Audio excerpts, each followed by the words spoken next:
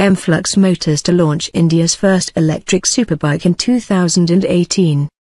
Indian automobile market will soon feature an exclusive product from Emflux Motors.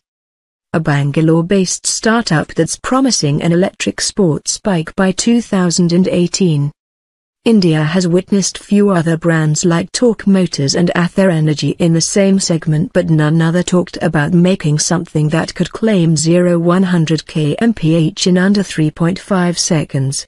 Their first product will debut at 2018 Auto Expo and carries an impressive design.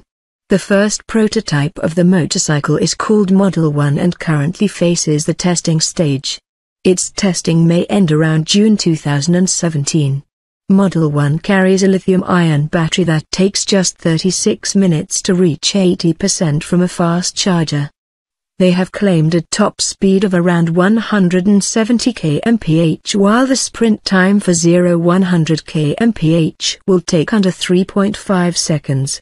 The battery offers a range of 200 kilometers.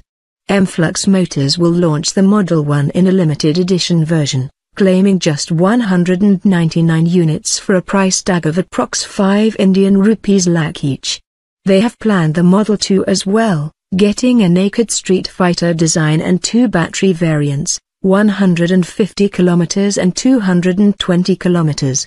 If this was not satisfactory, Model 3 with cruiser design and even more powerful battery will be offered in future.